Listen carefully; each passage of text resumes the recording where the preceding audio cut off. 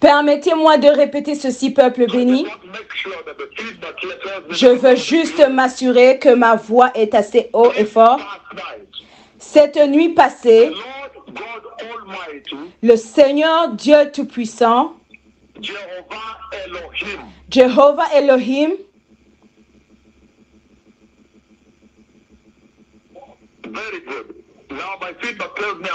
Très bien. Maintenant, on me dit que ma voix est claire.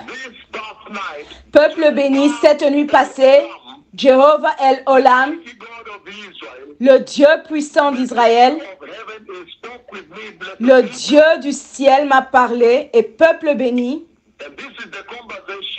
ça c'est une conversation que je veux avoir encore avec vous.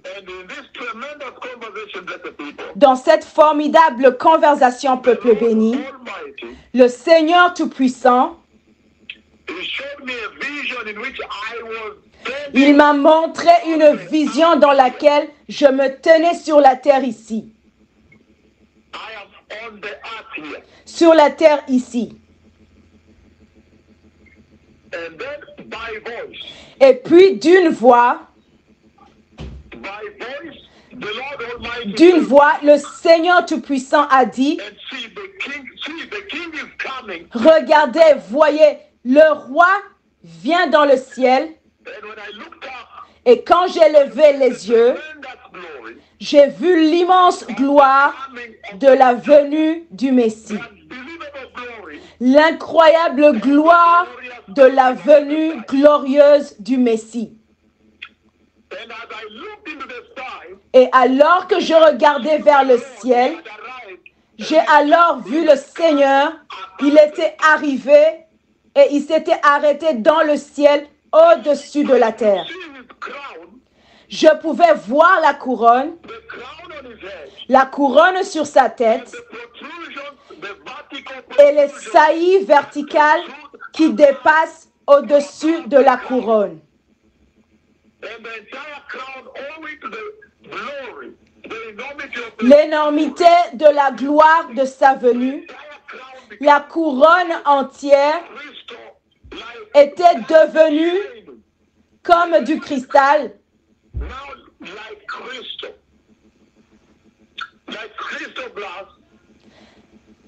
est devenue comme du verre de cristal, comme un diamant brillant. La couronne dorée ressemblait désormais à du verre de cristal, à un diamant brillant et éclatant. Et puis, j'ai vu comment la gloire enveloppait le roi, totalement recouvert de gloire. On pouvait voir sa silhouette recouverte par la gloire, la gloire super glorieuse blanche de Dieu, la gloire de sa venue.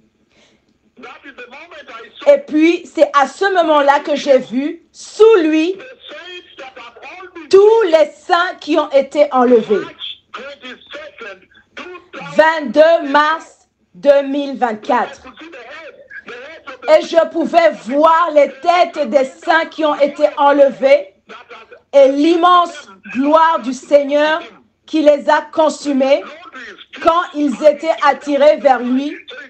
Ils ont été attirés jusqu'à ses pieds alors qu'il était debout dans le ciel.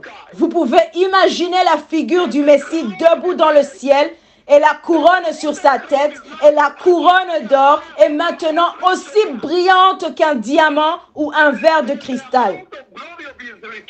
Et la quantité de gloire de son retour, de sa venue, couvrant la figure, la figure du Messie qui se tient là. Et à ses pieds, il est relié à cette gloire blanche qui s'étend à gauche et à droite, horizontalement et profondément vers le bas. Et à l'intérieur de cette gloire sont attirés les saints.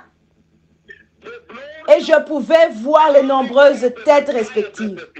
La glorieuse venue du Messie, peuple béni, vendredi March 22nd 22 mars 2020 de l'année 2024. and then Et puis, 22nd the après que l'Église fut prise, les saints enlevés, Puis tout d'un coup, tout d'un coup, après que le Seigneur les a pris et qu'il est entré maintenant avec eux dans la gloire au ciel, tout d'un coup, je reste maintenant sur la scène, sur cette terre.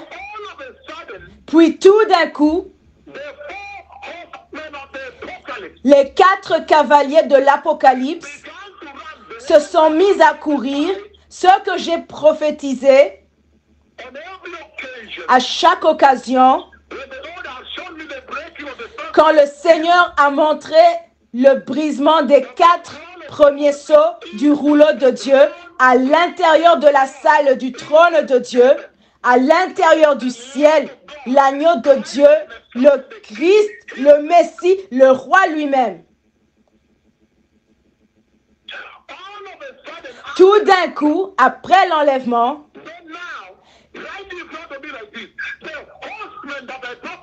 les cavaliers que j'avais prophétisés se sont mis à courir, tous les quatre, devant moi comme ça, devant moi, mais en traversant. Et ils dévastaient la terre.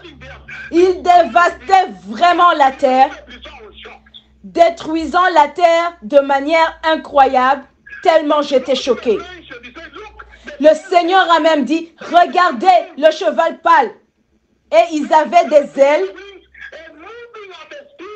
ils battaient leurs ailes et se déplaçaient à la vitesse de l'éclair, à la vitesse de l'éclair et détruisaient totalement la terre. Le Seigneur a dit, voici le cheval pâle. Et j'ai vu les quatre cavaliers et les chevaux de l'Apocalypse.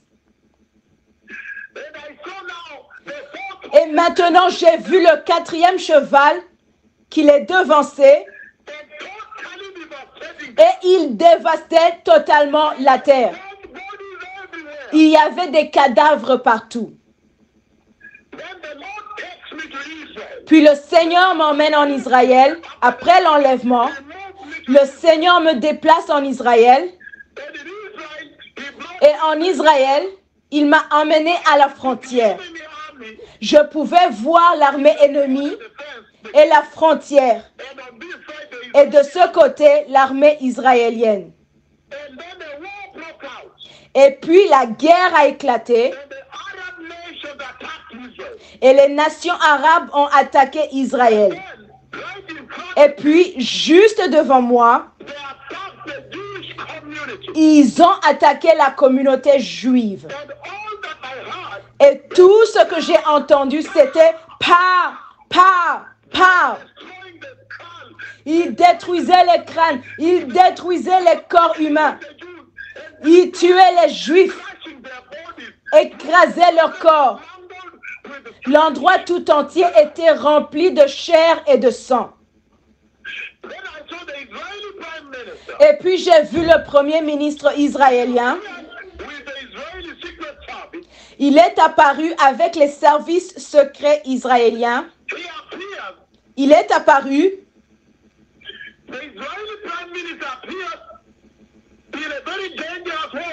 Le premier ministre israélien est apparu dans une zone de guerre très dangereuse avec les soldats de l'armée israélienne. Et donc, hey au premier ministre israélien, j'ai dit, hé, c'est trop dangereux pour le premier ministre israélien d'être ici.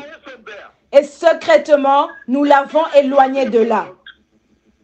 Et puis, je me suis impliqué dans la protection du peuple de Dieu. En courant vers les frontières, en leur disant de passer par ici, il y avait des massacres. Les Juifs étaient tués partout sur la terre. Cette nuit passée, Friday March 22nd vendredi 22 mars 2024, tremendous c'était terrible, incroyable. Ils se sont retournés contre les Juifs Les Juifs ont été tués à travers la terre et Israël a été attaqué et beaucoup d'entre eux ont été massacrés juste devant moi comme ça. Et je me suis impliqué, j'ai commencé à affronter les ennemis d'Israël. C'était incroyable, mais les cavaliers couraient à travers la terre, détruisant la terre entière. La terre n'était plus ce qu'elle est maintenant.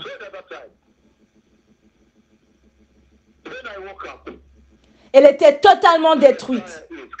Puis je me suis réveillé. Le Messie vient. Le Messie vient. Le Messie lui-même s'est montré à moi. Cette nuit passée, J'ai vu. Jésus. Cette nuit passée, j'ai rencontré le Seigneur. J'ai vu le Seigneur debout au-dessus de la terre. J'ai vu le Seigneur que tu attends. J'ai vu sa couronne. L'Éternel a dit, regarde, le roi arrive dans le ciel. Et j'ai vu la couronne d'or devenir comme un diamant brillant ou un verre de cristal. Et la quantité de gloire qui couvrait sa silhouette, la silhouette entière debout dans le ciel. Et j'ai pu voir tous les saints qui ont été tirés de la terre avec cette même gloire. Et vous pouvez voir même la démarcation de sa gloire. Et puis, après l'enlèvement de l'Église, les cavaliers avec leurs ailes volaient à une vitesse fulgurante, incroyable, dévastant la terre entière. Les quatre cavaliers de l'Apocalypse que j'ai prophétisés. Le Seigneur a parlé. Le Seigneur a parlé. Et il a encore une fois révélé notre rôle après l'enlèvement. Ceux qui sont sages, écoutez cette voix. Ne contestez jamais cette voix. Il est très proche de Dieu. Même un fou ou un enfant peut vous dire que vous pouvez juste voir la façon dont ces deux prophètes marchent avec le Seigneur. Et vous saurez que vous ne pouvez même pas essayer. a child to tell you Il ne peut même pas vous venir à l'esprit que vous tentiez quoi que ce soit contre eux, parce que l'éternité entière de la terre a été placée entre leurs mains. La venue entière du royaume de Dieu a été placée et remise entre leurs mains.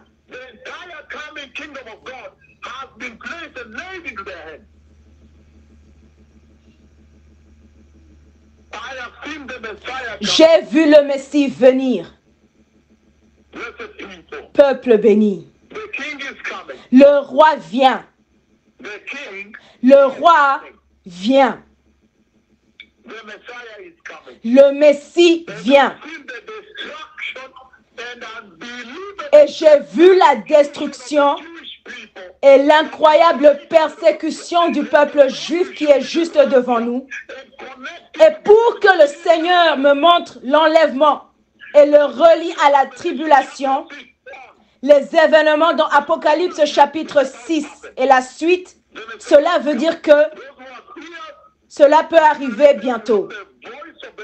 Le Messie vient. Ceux qui ont des oreilles, écoutez s'il vous plaît ce que vient de dire la voix du Seigneur, la bouche du Seigneur. Todaraba, Todahaveri. La guerre que vous voyez en Israël, euh, que voit Israël mener actuellement va s'aggraver et le monde entier se retournera contre Israël. Todaraba.